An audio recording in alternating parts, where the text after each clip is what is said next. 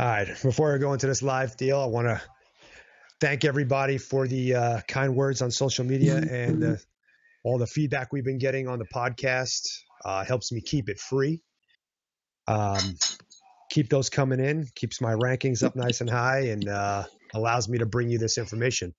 So uh, today we're going to be doing, uh, we're going to be talking about elk hunting, and I gathered a few guys that know one or two things about elk hunting, and uh, we put out a couple posts yesterday to gather some questions. So I got a big bank of questions. But if you guys got some other questions uh, that you want to shoot to us live, we're going to do our best to answer them. Uh, so without further ado, uh, we're going to roll into this. Welcome to the interviews with the Hunting Masters podcast. I'm your host, John Stallone, and this week we're going uh, live talking elk. I got uh, Mario Guisto with us, and we have uh, Matt Woodward and Shannon Mobbs and Cory Ford we're gonna we're gonna take questions live here, and we're gonna do our best to uh, to get to everybody. So, how's everybody doing today, guys? Doing good, John. Awesome. Great, John. Ooh, Jesus, that was loud. Um, I'm Look going at the horn to... porn there. Shannon. I'm- Yeah. Was that was that me? Oh, No. all the antler you have, antler porn. oh, Oh, and the yeah. horn, yeah. Yeah. Yeah. Hold it back. yeah. You guys really don't want to look at me, do you? No, no, like, give it definitely. there. Just- Scoot your head to one side. Scoot your head to one side. We'll look at the antler yeah. horn. Blacktails. There you go. Nice. Um, well, let's just real quick, um, a real quick bio, like a real quick one-liner bio on all you guys. Uh, starting with Shannon and uh, Cory, and then Matt and Mario. Yeah, I'm Shannon Mobbs. Um, uh, own Angry Spike Productions. We we target uh, mature Roosevelts on the Oregon to Washington coast.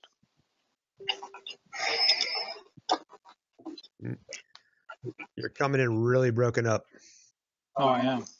Yeah, really bad actually. You were good before. I don't know what happened. Uh, we'll we'll let you figure that out, and we'll go to Cory.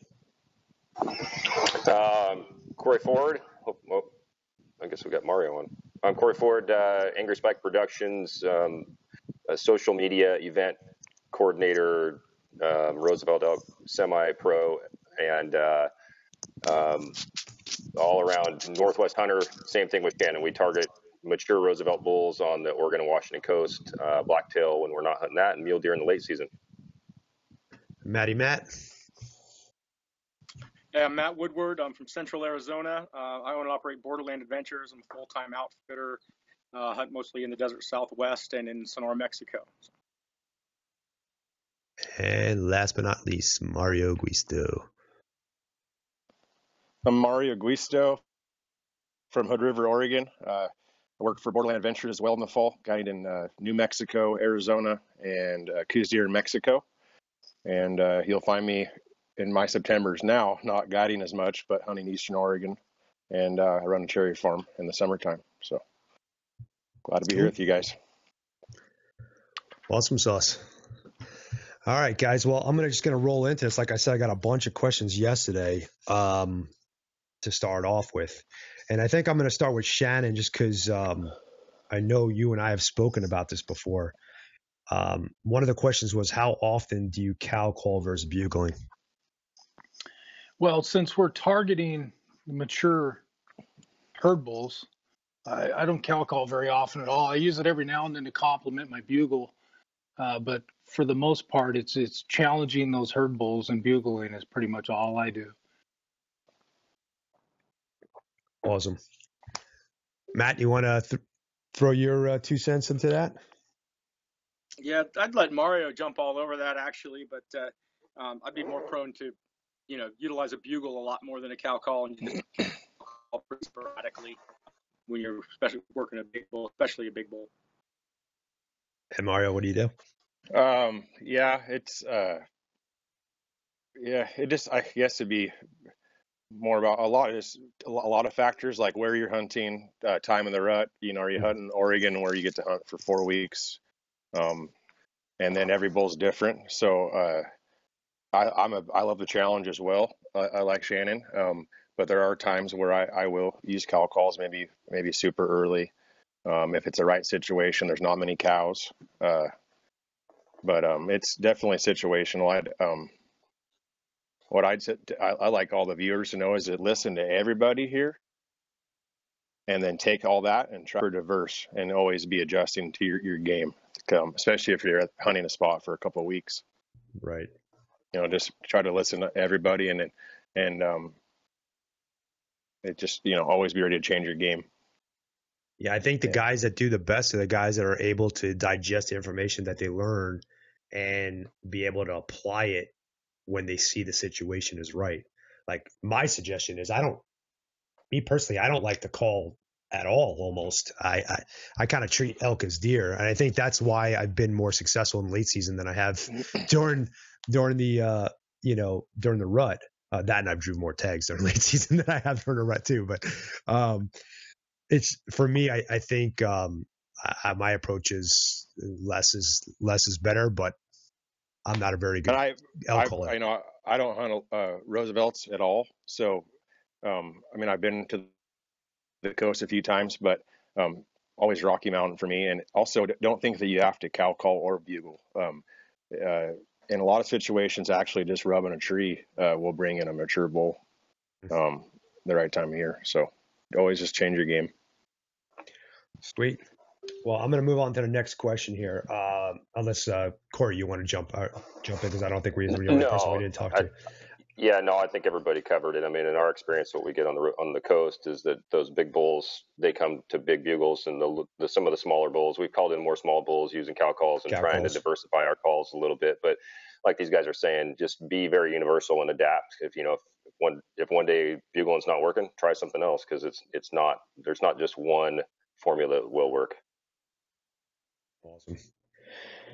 Um, so my next, I'm gonna kind of, I'm gonna throw this in the lap of either Matt or Mario, whoever wants to take it. Best tactic for hunting elk in December with a bow in New Mexico, just because you guys guide out there. So I figure uh, you know better than us. I've I've only been elk hunting once in New Mexico, and I only hunted for three days. So Well, Matt needs to take that because he's patient. uh, December is not my game as much. yeah.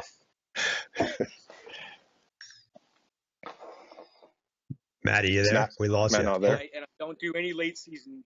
I don't do any late season stuff in New Mexico either. So um, I would treat that like I do some late season Arizona stuff on a pretty pretty regular basis, and uh, I think I would treat that just like any late season elk hunt, um, and treat them more like a deer, and actually uh, look for units that are glassable, look for country that's glassable in your unit, um, and actually you know do some whether it be water sitting or mostly spot and stock type scenarios. It's going to be a totally different situation than in September. So. Um, most of our elk hunting is done in the early season, but we do a few hunts each year in the late season, and they're typically spot and stock hunts, um, or if weather conditions are right, then we're sitting water in that type in the in the desert Southwest anyway. Right. And if right. you have time, if you're scouting, I mean, a lot of those bulls are going to be, be back to where they were picked up on your salt in the first place um, in December. So it's not always a bad Yeah, place to try and absolutely. sit water around that area Very, uh, if you're going to target a certain bull or Makes sense. It's uh, a lot of what I do in the late season too. I just treat them like deer. Um, and and the, and the states that you can use radios, and employ radios and spotters, and um, I feel like that's that's always been the best for me. Um, I get this question a lot, and I know what my opinion is on it. I'm going to ask all four of you guys what your opinion on it is. Uh, what's your opinion on frontal shots? Go ahead, Shannon. I know what yours is already because you shot Yeah, yeah, yeah. film on frontal shot. But Quite often, actually, you know, I had to hunting here on the thick coastal uh, rainforest. I had to adapt to the shots they give me. right, So I, I figured out if I can shoot them quartering to me in front of the shoulder and, and on the uh, in the, the back side of the brisket there, that's just like quartering away. So um, that shot for me is it's pretty close to 100%. Um, so I will take that under 20 yards every, every opportunity I can get. hmm And there's great video of us doing that. So there's there's a couple different videos. I think we're going to release one or already have that uh, shows that exact shot very very clearly. matter of fact, I think I watched one yesterday morning. It was yesterday? It was yesterday morning on YouTube that you guys had of you shooting a bullet frontal shot. That was that was pretty cool. Um, so I'm just gonna assume Cory, you file you file suit with that. You're you're good with the frontal shot. Uh, yeah, absolutely. And it, just to clarify too, I did just put a video up this morning of the frontal shot that Shannon's talking about from a bullet that he killed a couple years ago, and you know, Okay, four so yards. It's hard this to beat that. Yeah. Um, So it's this morning and so we'll we'll promote that on Facebook and Instagram here after the show. But uh, uh, I a couple years. Um, essentially, what you really want to look for is you want to make sure that you have an arrow set up one that's heavy enough to to do an impact um, on a perfect frontal shot, just in case you're not perfect, that you do have the opportunity to blow through brisket or something like that. So the heavy arrow setups that people are starting to go to now are definitely going to improve the um, the killability of that shot. But yeah, I wouldn't hesitate to take it as well. And same thing, you know, most of our shots are under 20 yards anyway. So like Shannon was saying, if we get an opportunity under 20, we're going to take it because it's it's pretty deadly. Yeah, it's not really a frontal; it's quarter and two. So I think there's a misconception there. Right. Directly facing me, I would tend to shy away from that. If he's slightly quarter and two me, then I'll then I'll take it. Okay. And what about you, Matt? Well, I would agree to a certain extent that that that quartering two shot is super deadly. Uh, I think the kill zone's pretty small for your average guy. It's a tough shot to recommend just to your average elk hunter, uh, but it's a super deadly shot. But that true frontal shot, um, I'm adamant.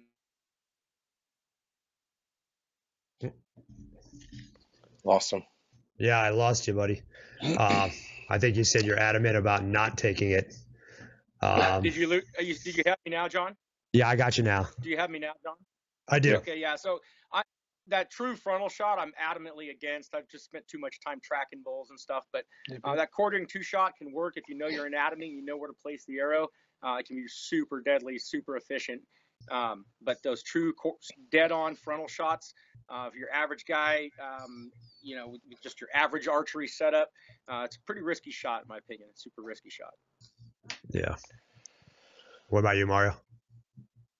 um, I've taken that shot for years, but I've also was preached from my father at early age, you know, heavy 600 grain setups and weight forward and big Zwickeys. And now I shoot two blades like Kudus or maybe a Magnus uh, glue on. But I, I like two blades. I can put them anywhere. They'll go through bone. Um, so I like that shot. But guiding, I've had a lot of guys lose bulls. Let's say a guy has 25, 26, 27 inch draw length, got Yeah. short arrows, and his bow shop's going for speed, which a lot of bow shops do. Um, it's not, not as bad up in the Northwest, I feel, but down south it is. And a lot of places are all about speed. And it, they just won't get arrow penetration. Um, will that bull die? He'll die, but maybe he won't bleed because he didn't have two holes in him. Right. Um, so it's uh, you know know your equipment, like uh, Cory said and um, Matt said. It's all about setups. You know, Mhm. make sure you're heavy enough, and it's not about just as much kinetic energy. Um, front of center uh, needs to be high as well. So Yeah. build an elk setup, fellas. Build an elk setup. Makes perfect sense. I uh, personally, my setup is very medium.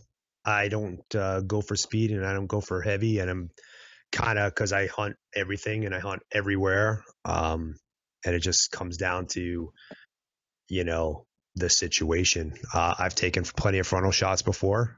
Um, can't say that I have on elk. Um, I've, I've done it on deer and, and antelope many, many times um, and had no problems at all. But elk is a different story.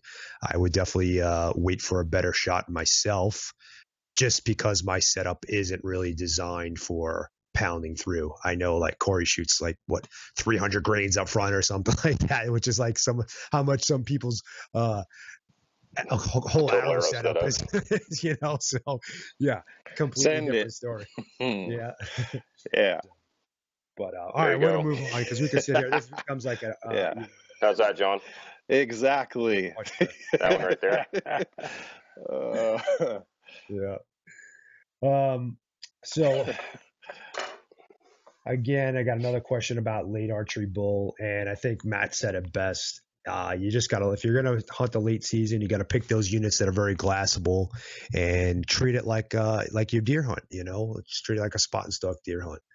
Um, depending on the weather too, you can you can apply sitting on water or moving back to a mineral lick or something if that's legal in your state. Um, but uh, really, for me, I, it's I, it becomes a spot and stalk, and really depends what what you're considering a late season tag. So like I've now now here in Arizona, they've moved they've pushed it back even further, but when it used to be that early November, um, you know, or mid November tag rather, it it wasn't it wasn't completely the rut wasn't completely over. There were still bulls with cows. Uh, there was still some bugling going on. Not that you really could call them in, but you can use locating bugles. You can listen for bugles and find them. So like it really just all depends on uh, where you're hunting. But I know a lot of these questions came from Arizona guys uh, on the late season tag since uh, it, it t- tends to be a a popular tag to go for nowadays. Um, okay, so my next question I got here was, uh, let's say I'm going blind into an area, never been elk hunting in that unit before. What are three major things uh, I would have to prioritize other than water holes? So, what basically what are you looking for? I'm going to give each of you guys it's just give me one thing. So I'm going to start with uh, Matt. Go ahead, give me Matt. Matt, what you, what you think your first uh, first and foremost thing to look for? Oh, we lose you again, Matt. And essentially looking for blank spots on the maps, looking for those hey, core Matt, areas start where I can get as far as possible. Matty, you got to start over, buddy. You cut out your whole first uh, part of your answer. There. Sorry, sorry, buddy.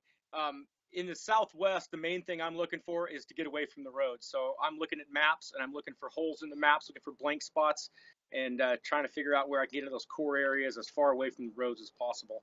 Uh, even if that's a relatively small area here in, in some of these central and northern Arizona units, uh, but those, even if you're just a half mile or a mile in from some of our Forest Service roads, in some cases it makes all the world of difference. So I'm looking for holes on the maps, looking for blank spots away from the roads that allow us to get away from them. Cool. Shannon? I'm looking for a variety of different terrain fe- features. I want, uh, of course, the water. I want uh, food sources, and I want big ridge lines that I can I can locate from. So, and, and to me, I cover tons of ground to find one elk.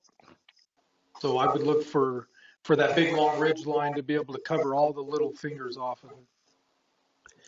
And that's let me clarify on that. You're, are you glassing from those, or are you using that to to send your location bugles from?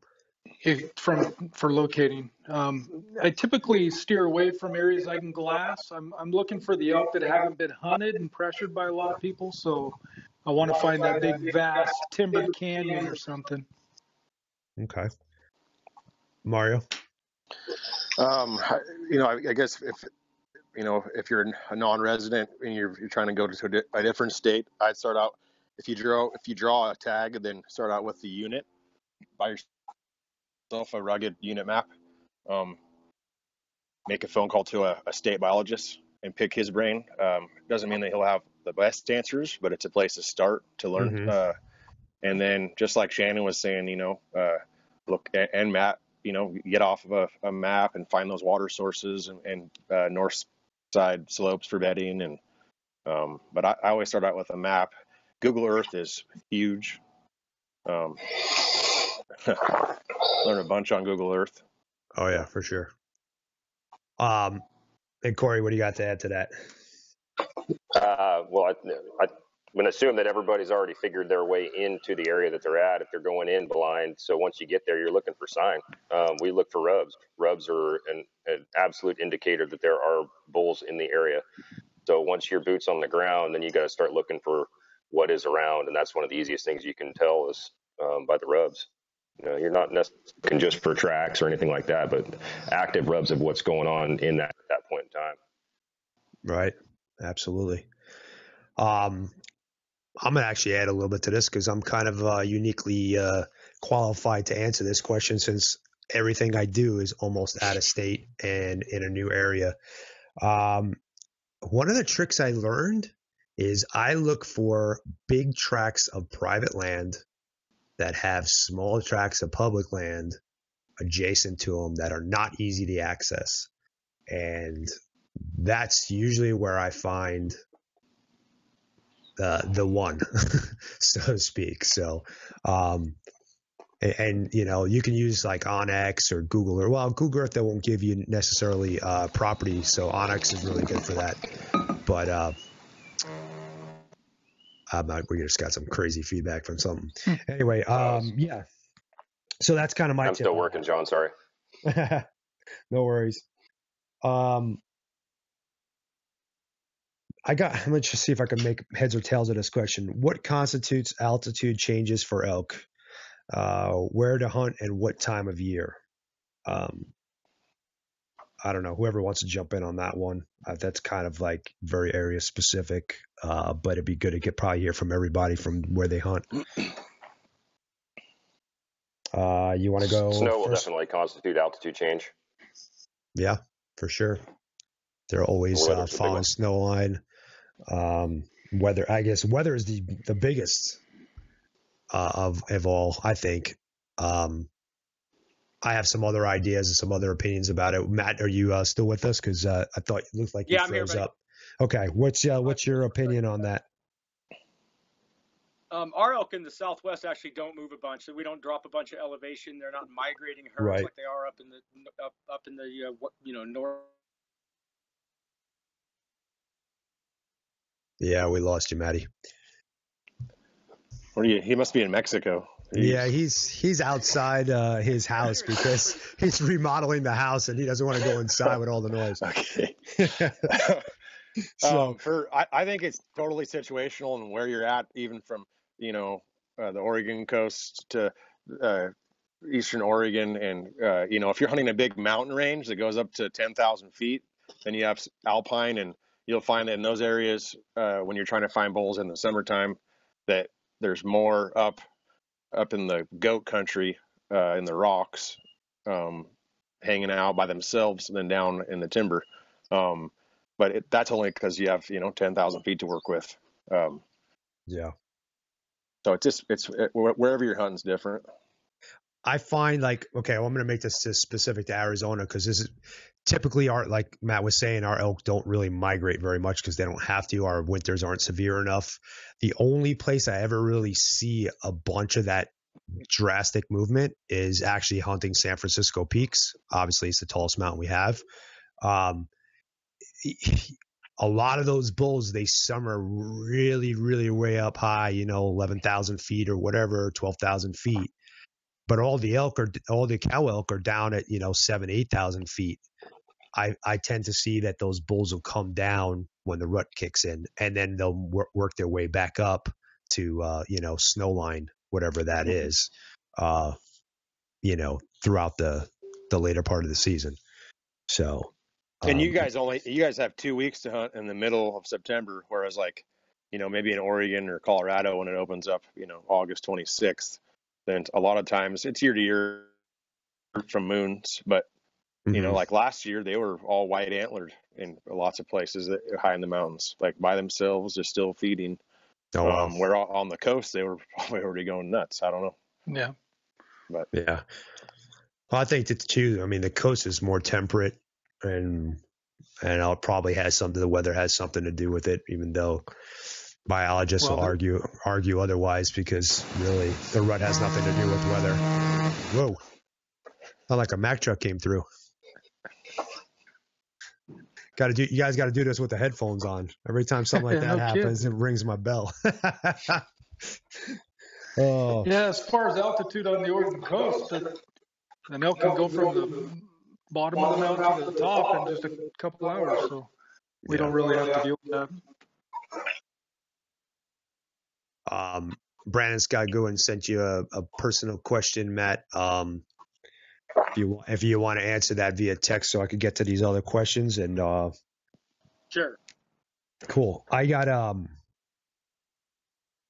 Actually, this is one I want to talk to you about too, because I know what you guys you guys kind of like to use them or not. Um, but I'll throw it out there. What's your opinions on uh and and or tactics using decoys? Mario, want to start off?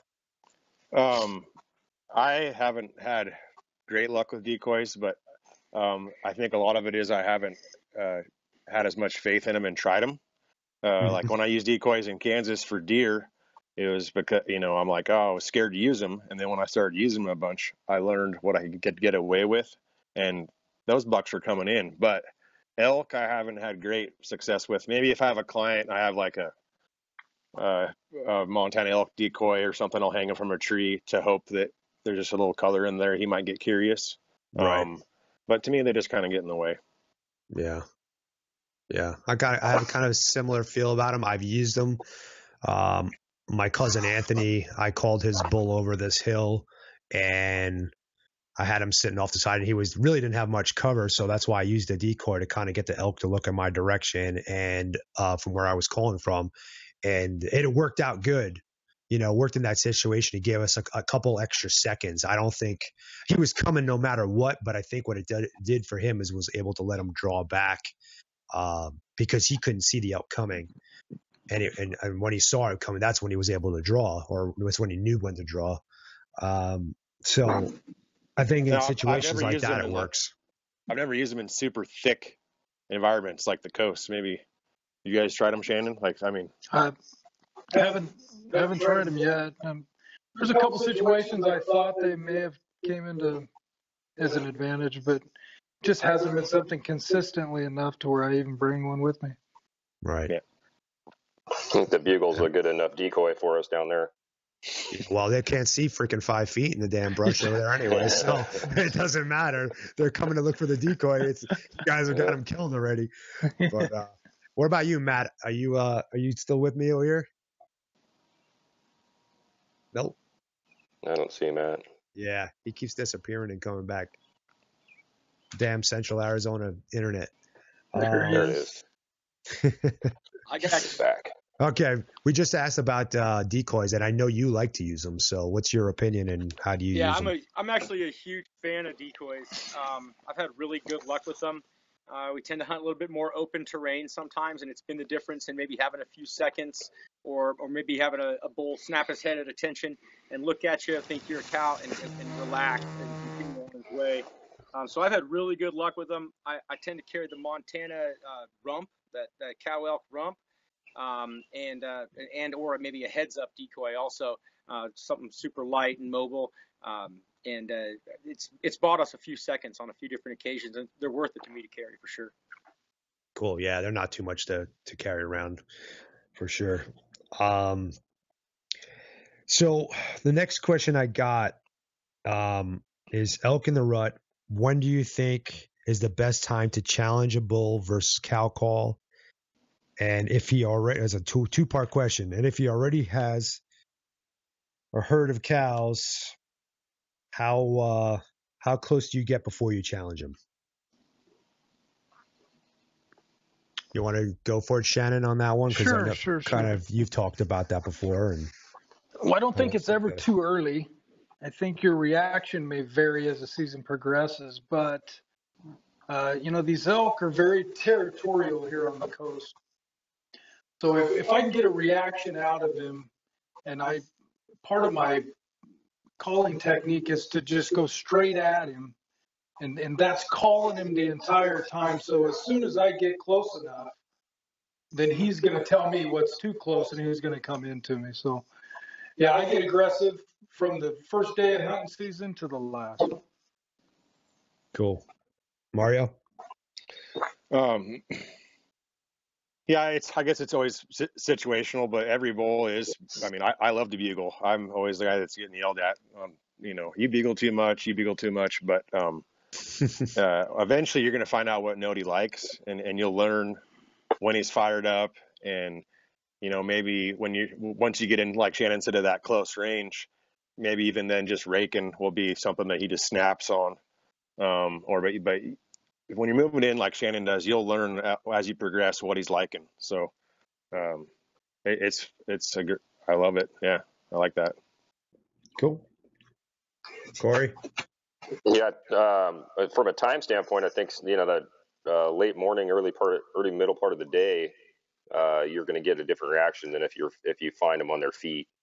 Uh, we've kind of learned that rather than them, you know, bugle, locate, and then having them walking away bugling because they're moving to their their bedding ground, a little detrimental to your actual uh, the kill. So. Um, Right. Time of the day has a lot to do with how that how elk's going to react as well. If you if he responds from his bed, then you get aggressive and push in on him like those guys were saying. It's going to completely change how he reacts to you. Right. And Matty. Totally agree with the guys. It's just it's going to depend on the bull and the situation and and what, the situation that you're in at that particular time, and it's going to be different on every day on every bull for the most part. Uh, as to how much you're going to pressure and how close you're going to push yourself in. In some cases, you're going to rush in as, clo- as close as the terrain allows you. Uh, Mhm. in certain cases, in the last year or so, Mario and I have called in from pushing a mile away across the country. So um, it just totally depends on the situation. Well, let me ask you this because I know I know exactly where my head went when you guys were answering this question. Um so I'm sure the listeners did the same thing. How do I recognize you know, what are some of the things I could recognize from how the bull is responding to me that make me say, okay, I'm doing the right thing, or okay, I need to challenge him harder, or I need to get in there closer. Whoever wants to jump in there first is fine with me. I'll jump in. Um, the emotion in that bull's bugle. Um, it's not really how long it takes for him to answer me. It's how serious is he about it. And I can tell if he's a dominant bull, if he's a satellite bull, by just his his energy he puts into his his bugle. And as I'm getting closer, usually I can feel that intensity increasing. Then I know he's he's he's going to come in eventually when I get close enough to to be the threat. And like Cory touched on, if this has happened in the middle of the day, his cows are bedded down, and that bull's not going to tolerate me getting too close to his his cows. Right. Makes perfect sense. Um, I think that's a good good sum up of that question. I don't know if we have to beat on that anymore, but um, Oh, John, I'm one gonna- other thing I'll throw Okay. in there too is if if uh, like these like Mario was saying, he said several times, like if that bull gets up and he starts raking trees, it's another good indication that there's he, there's a little there's a change in his attitude at that point in time. You know, right, if the bull just sits down at the bottom of a canyon and, and bugles, you know, high squeal, he's he's just letting you know he's down there. He he doesn't really want to do anything, but um, you know, so like Mario said, the the raking is a, is a, obviously a true sign of of the attitude of that bull. cool. And if you're Uh, if you're if you're hunting like the high country and it's in your glassing and you see a bull that maybe has six, you know, ten cows, I don't know, and he has them in this Right. timber patch on a slope, and, and maybe there's a, a satellite bull that keeps coming to within 50 yards of it, and then outrages this bull. You Right. know, it's all situational. Heck, you, you walk up into that situation and bugle, and it's all over oh, yeah. because he's been, you know. Um, so always just look for good situations and take advantage of them. You know? I'm glad you said that. That's a great. I wish I'm glad I didn't cut you off completely. Um, that's a good answer. You know, um, yeah, it's just uh, putting all the pieces of the puzzle together and keeping your eyes and ears open and just. lear- It's it all comes down to, and I preach this all the time. Is always kind of learning, doing your best to learn the behavior of the animal that you're hunting. That way, you can apply um, knowledge instead of and, react properly when when the elk are giving you you know information because that's what they're doing. They they poop over here they're leaving you information. They bugle over there they're leaving you information. And it's all how you process and put it together and come up with a plan to uh, execute. So um so we got a question i think this is a good question i'm going to throw this to matt just because uh, matt's an outfitter and uh, he, I'm sure he gets asked this question all the time. It's my first elk hunt, uh, September 15th to the 28th. Uh, sounds like got an Arizona guy here. What are the what are some of the necessities gear wise that uh, that I should not forget, and what can I overlook? Ah, good question. Um, well, there's all the little things that you're going to have in the field with you um, that that you're going to find that are important, and that you go through them, like wind checker. Um, you know, we use a lot of the little puff bottle wind checkers, uh, and a lot of you know reed calls. We end up carrying extras on us because we blow through them and burn through them over the course of say a, a two-week elk season. So you never want to run out of that. Have to burn a day going back to town for the little stuff. Um, eh, eh, that's a really good question. I had, had one, one of the, the little things that are so critical. Um, I think a lot of guys carry too much gear uh, in Arizona. Uh, I know situations differ when you get up a little bit further north of us, uh, but in Arizona in particular, elk hunting is done in pretty mild country um, for the most part and uh, mm-hmm. on national forest ground uh, for the most part. And uh, I see a lot of guys struggling with huge 35 pound packs for, for, morning hunts when they're going to end up, when, you know, covering two miles for the day and stuff. So I see a lot of guys bringing a lot of extra gear, which is unnecessary and slows them down. Um, but uh, so yeah, I think you got to really watch what you take and just take your basic first aid and your water and your snacks. And we, we run pretty light when we're hunting elk in Arizona. Uh, mm-hmm. We're running with small, tight little packs, uh, moving fast, covering a lot of ground, and um, you know, that's one thing I do hate to see is those those huge, huge packs with all the gear in them loaded down for a for a our morning hunt. Right. Um, Shannon, you got anything, or Cory, you got anything to add to that? Don't forget your bow. Yeah. extra extra release in the pack.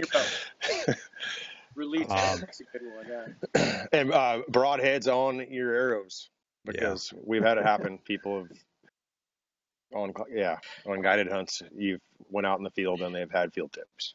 Yeah. Yeah, for sure. Um, well, I'm gonna I'm gonna add a couple of things just because I felt like we left that a little open. I'm gonna I um I say dress in layers being able to be able to take stuff off and put stuff on as you need it. Um, I'm a carry enough but not too much kind of guy. I like to have, uh, no matter even if I'm hunting in Arizona and I know I'm only going to be five miles from my truck, I like to carry my like inReach or at least a GPS with me, just because, you know, sometimes, um, you know, let's say you shot an elk and you're tracking them all over God's great earth over there and you're just all over the place and you made a bad shot or something and you know you find yourself in the middle of nowhere and and and you get turned around you know pretty easily. Um i always carry some survival stuff with me always carry like you know way to start a fire.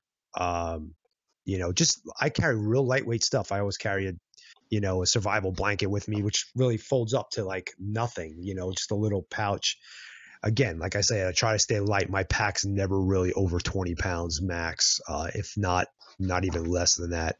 Um, I always carry two knives, especially when I'm with elk. You know, it's very easy to blow through a knife real quick.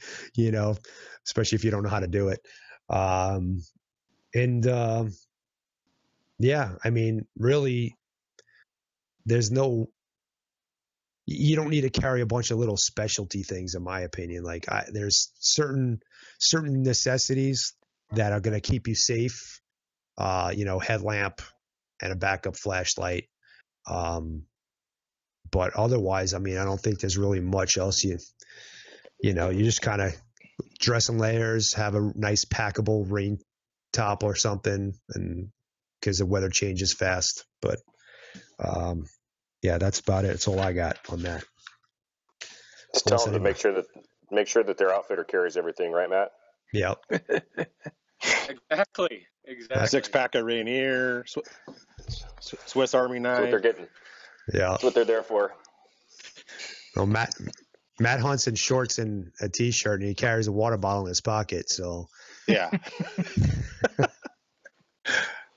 Havalon and a water bottle. That's it water.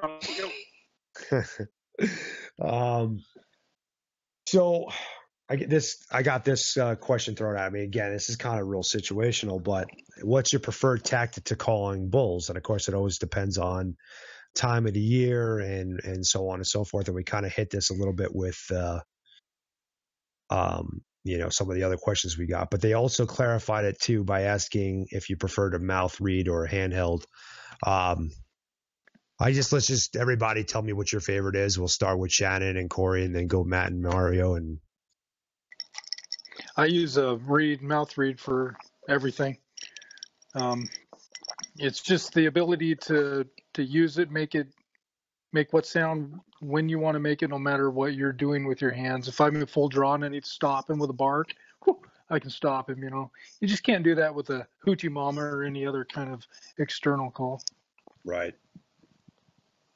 Go ahead, Cory.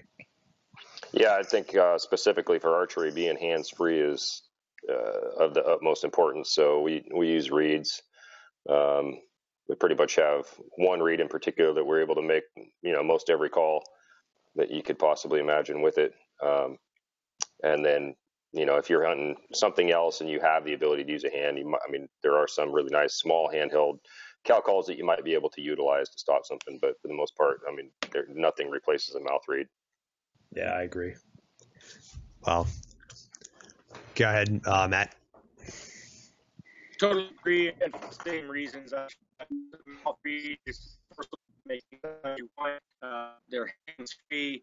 Um, loose into my sleeves and in my pockets, and You're What he's trying in. to say is that he likes to wear a romper Yes, uh, that's cow what I calls heard. and a hoochie mama.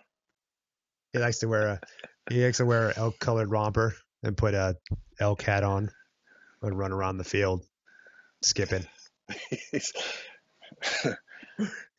Mario, what do you like to use? um, I love mouth calls. Um, you know, I just recommend whatever you, your mouth likes to blow, or you know, s some guys like Carlton, some guys like Bugling Bull, some guys like Phelps. Um, I like Bugling Bull just because I kind of grew up on them. Um, Mhm. I like a Blue Remedy a lot. It can make a lot of sounds with that, or a mellow, or like a Yellow Mama. There's a yellow one's nice. Um, also, like I do like to use, um, feel like a, a Carlton fighting cow call that's kind of Okay. loud, maybe to locate in canyons and when it's windy and stuff. Um, but other than that, I, I just like to use a mouth call. Yeah. Um, I like to use Fox Pro. Are we Where it's legal. our plug in for our Regal? Where Our- it's legal. our- Where it's legal, I like to use it because it's uh, perfect. But no, I, I prefer a, a a reed myself. I I like these um, single reed just because they're easy. Uh, I use those primos with the little uh, hyperdome again because it's easy, and I'm not a very good elk caller.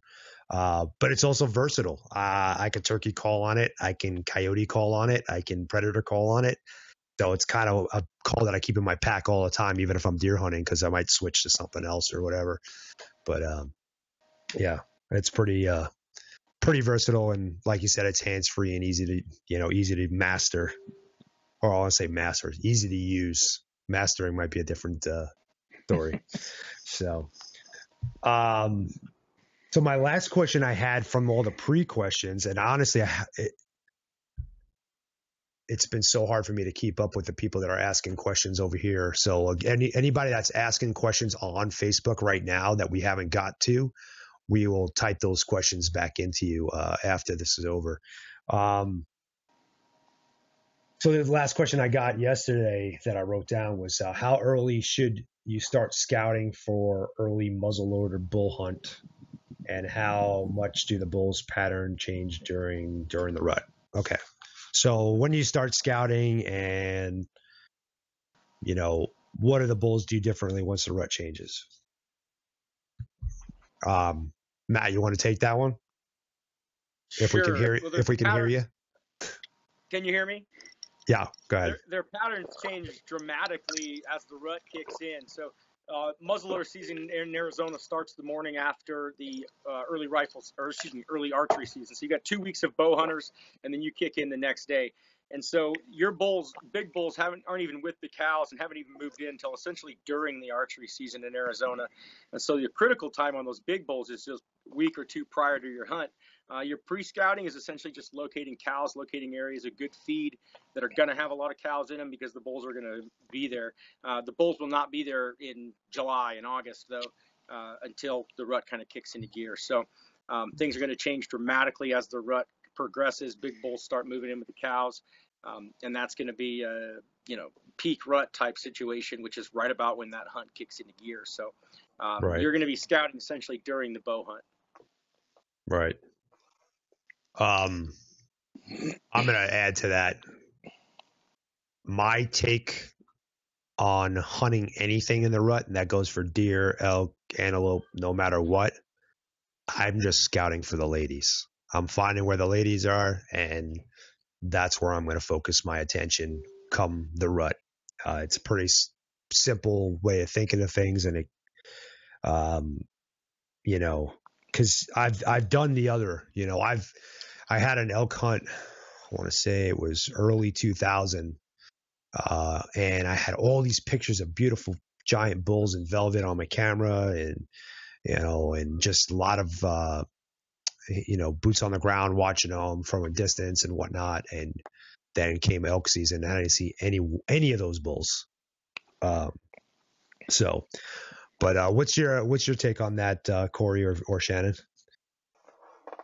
Uh, I'll take it. I don't see Shannon's done a whole lot of muzzleloading hunting in his day. I used to muzzleload hunt in Washington. Um, I still archery hunt during the muzzleloader season in Washington, and really kind of what you guys have said. We put out trail cameras over the summer, uh, really just looking for for cows. Uh, we want to know where those cows are at. You know, if we get a, a nice bull on camera, that's great. Uh, but really looking for for where the cows are at, and then some of your best scouting is during archery season. You get out and you bugle and you locate and you find those bulls that are still alive during archery season, and they're going to still be alive right at the end. Our, our, our muzzleloader season starts the week, the first week of October. Um, so there's not a lot of separation, like you guys were saying earlier, between archery and, and muzzleloader season. So scout during archery season when when you can locate, um, and then as soon as that muzzleloader season starts, tactics shouldn't really necessarily change. Right. Uh, just just your weapon just choice where- if that's just what you choose you're to do. at. Correct. And I I typically start scouting the day after my season ends. Um, it's closest to when you're actually going to be out there. If if you're hunting local to where you live, it's fairly easy to do. right. You know, and, and here with the Roosevelt is, you know, they don't travel, you know, to go. They don't migrate anywhere. They don't they don't really go anywhere. Um, what I found with these bigger bulls is they will actually go get cows Mhm. and bring them back to where they usually stay. Okay. So, so um, during the springtime and like right now in the early summer, they're they're off getting the most nutritional vegetation they can find, and this is the only time I think scouting can be kind of misleading hmm is when you're finding bulls growing, having antler growth, trying to put fat reserves on. If I find them in October, November, December, these Roosevelts are generally going to be in that same general area. So. Okay. Mario, what's your thoughts on it? Um, I'd say it's it depends on where you're hunting, public land, private land. If you're on an 80,000 acre ranch in New Mexico that hasn't been called to the whole year, um, you can be pretty aggressive with them.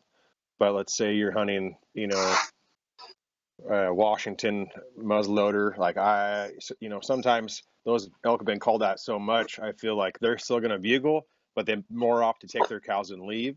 Mhm. So I would recommend uh, having a buddy sit back while you move in, so they don't feel as pressured. He'll still bugle, but let your buddy move in and, and make it easier for him.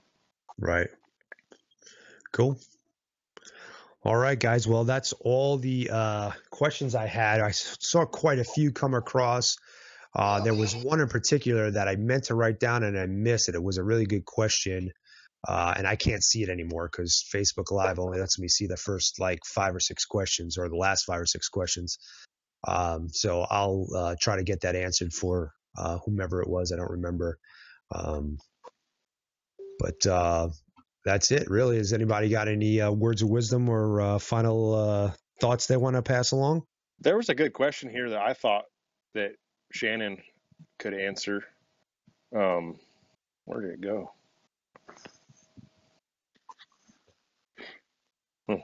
Yeah, it's, uh, I hate There- Facebook Live for uh, that reason. So uh, when, when you're when you're bugling to a bull, how do you know uh, to bugle soft or super aggressive as you're moving in in, in on him? oh yeah, that's the Well, question I was was looking at. So for myself, I'm targeting that big mature herd bull. So I don't think I can get too aggressive. And I'm trying to increase his intensity and get him fired up. So I'm as loud and as mean as I can possibly be. So, Uh-oh. are, Just so like do you do you start Woke out? up. Uh, you know, do you just let out a high pitched squeal, or do you or you start out aggressive from the start, or Well, you know, as far as when you I'll locate? generally, I'm listening. There we go. to locate, I'll generally do that high pitched, long, drug out tone. and I'll follow that up with just an aggressive bugle and chuckle. And what I've what I've found over the years is that if I can get their attention with that locate bugle, I can get a reaction with that aggressive uh, chuckle and whatnot at the end. Cool. So we got, we got a little visit from my uh, son. What's that?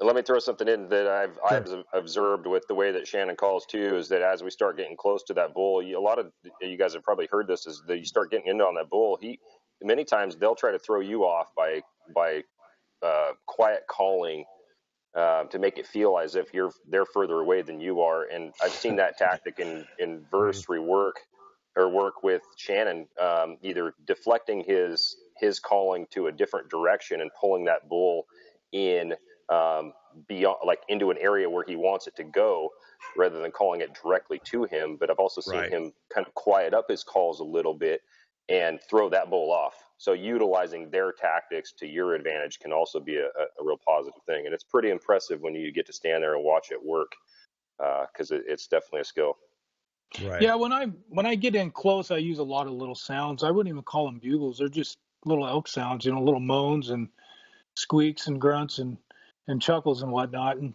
and I've seen it happen uh, dozens of times where, you know, a bull you're you're in within a hundred yards and he'll turn his head and face completely away and just lightly bugle, and then he'll snap his head around, waiting for you to approach him because you know they're they're on the defense. They want to know Right. who's coming in for the fight their biggest threat in the woods is another bull. So that's Mhm. that's what they're concerned with the most. So Right. Right. Anybody uh, else want to add to that, Matty? Yeah, I agree with that. Absolutely. Mario? No, that's it. Yeah, I, I, anyone that's listening to this right now, take all that info to heart because you will be a better hunter because of it. It'll make you dynamic. Yeah. Yeah. Yeah, for sure. Um, I noticed that um, when I hunted in Colorado, that the bulls really tended to grab their cows and run away from you if you were bugling at all. Um, and unfortunately, it's been a few years since I've been there, uh, and I'd like to when I go back. I'd like to try uh, Joel Turner's uh, bull cull and cows bugle and see if that works. But I end up hunting them like um, like deer because no matter what, every time I tried to call at them, uh, they ran away. The only bull that I called in was all cow calling, uh, and it was real soft. You know, very. I wasn't getting really whiny or very like aggressive cow calling where I was, you know, trying to be estrus, but uh, and I called in a five by five that was was a little too dark still. Like I I I did an uh, an Arizona tactic that I well that I learned out here. I should say I don't know if it's an Arizona tactic or not, but I I chased them in the dark in the bugles because that's all they were only bugling at at you know before light, and I just kept getting closer and closer in the dark, and then I sat down, and you know I just kept calling little mews here and there once in a while, and uh, he kept coming in closer and closer, and I was kind of trying to judge it with the with the light coming up, you know, and it was light enough for me to see him. It just wasn't light. Well, I, I was actually light enough for me to shoot him, but I didn't. But the camera couldn't see him, so that's why I didn't shoot him. But uh, anyway, I uh, I'm wondering again since I'm not an excellent uh, elk hunter, if or elk caller, I should say, um, if I was to take you know Shannon or something like that at Colorado or one of you guys that calls a lot better than me. I'd like to see what the difference would be uh, if it was just my style of calling or or if it's just you know um, because of where we're at and because of how how many people hunt Colorado because it's over the counter and it's the most popular over the counter state I think uh, just because of numbers Well, uh, it, it might have been how far they were traveling from their uh, feeding to their bedding grounds. If they're traveling six miles in Colorado, or I mean, even if you're hunting alfalfa elk that are coming down a long ways, no, it, might, this it might go eight miles. You know, like, um, and it, you'll you'll have hard be hard pressed to bugle bull in when he's going back to his bedding grounds. Right. And I'm pretty sure that Cory or Shannon said that earlier. yeah, But Cory how- touched on it earlier. okay. Yeah, I, yeah I, the time I'll of the say, day has I- a lot to do with it Yeah. Yeah, I'll there was no, to a little bit no more. agriculture. There's no agriculture around where I was hunting. Um, this is like backcountry, you know, pitch tent, uh, elk hunting. How far were they moving? You know, I- I don't really think they weren't really moving that far as far as miles are concerned. They gained elevation and dropped elevation. I would say they were probably gaining about 1,500 feet, which is quite a ways. Um, you know, and then, and then my little guy's like, uh, he wants to get on this podcast. Good. but, um, anyway, so like, I, I've always thought back to that hunt and I, I could, could never figure out what I was, what I was doing wrong. I had a couple of opportunities to shoot a couple of cows. Um, I had that one bull, like I said, I could have shot him, but, um, really it was just, it was, um, it was tough hunting all the way around and it really didn't lend itself the area didn't lend itself to glassing and i was always trying to think to myself what can i do differently to you know because the guys that that were hunting and that i was hunting with that um that hunt there all the time they basically still hunted them. You know they just snuck through the woods came came up on the herd and you know slipped in to make a shot. And you know that's great but you got to be there's a lot of luck involved with that because you got to come across the herd you know? Um so It's a different kind know. of skill. yeah I, I'm not a sneaky guy at all And those elk are going, you know, they're walking as fast as we can walk on an escalator, you know, like Right. on a, so if they're going up 1500 feet maybe and then going on a north slope and bedding down, Mhm. and if they're doing that to you every single day and maybe it's hot out so they're shutting up early or the moons are weird so they're just kind of quiet um, sometimes maybe you try to get up on top of that ridge were they going up over a ridge or uh, Um, I, I I found them a couple of times going on to a benches and stuff like that, and I and I would get on them there, but the it was so thick that I really couldn't sneak up on them and shoot them while they were in their bed. So I would try to get in close and call, and they wouldn't have nothing to do with me. So it wasn't just when they were trying to go away from me, and I was like, it was really getting on me because I was like, what the freak am I doing wrong? You know, I can't figure it out. Um, you know, and the one morning that I did have where they were lighting up everywhere and this let's just see there must have been a couple of cows got hot in the area or something. Um, and the bulls were just going back and forth a lot. Even that I felt like I was chasing them, you know. But I don't know. It's just one of those situations. I I always keep saying to there. myself, I'd like to go back and go with somebody who's a better elk hunter than me and a better elk um, caller than I am, and see you know how the situation would play out and what they would do because it's a situation usually I, i'm able to learn from my you know from my mishaps and my mistakes or how to take something away from it but from that specific trick uh, trip it always sticks out in my mind that i never was able to take anything away from it, it was like you know i was left with more questions than answers so. But um yeah one of these days uh i'm gonna scoop one of you guys up and we're gonna go to colorado and go shoot an elk but so Anyway, all right, guys. Well, I think we kind of hit them all. Uh, we got all these questions that I had, and we got to most of the guys online here. Um, yeah, Kenneth Powers just said sneaky asshole. Definitely not a sneaky asshole. Um, that that was the irony of that whole uh, hashtag sneaky asshole was uh, that I'm not sneaky at all. Um, I'm like a woolly mammoth coming through the woods. But uh, anyhow, yeah, thanks a lot for coming on. Thanks for taking time out of your day and uh, helping these guys out and uh, answering these questions and spending some time with me. I appreciate it a lot. Um, and uh, I'm sure I'll talk to all you guys uh, here in the near future. Right on, John. Thanks John. for having thanks for having us on Thanks, John. Appreciate it, Thank guys. Thank you very much, John. Appreciate it. nice meeting you guys All right, take care. Nice meeting you. good luck Good this luck. year guys Yeah. Thanks you as well. Thanks, Mario.